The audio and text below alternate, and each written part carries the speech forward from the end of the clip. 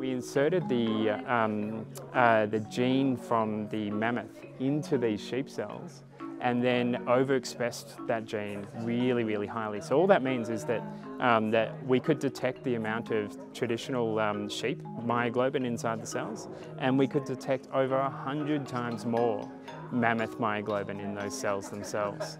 So a, quite a significant portion of what you can see here in front of you today comes from mammoth.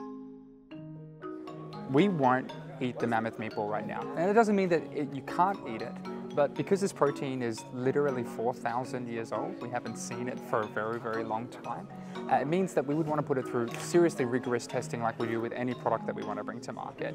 And for this purpose, we wanted to present it to the world faster and not necessarily bring it immediately to market. There's two reasons why we chose a mammoth meatball. So the first one is that we wanted to we wanted to get people talking. We wanted attention to something that is different from the meat that we eat now because with new technology it means that the food that we can have doesn't have to replicate what we've had before. It can be more exciting. It can have better flavor profiles, more better nutrition profiles. And so we wanted to create something that was totally different from anything you can get now.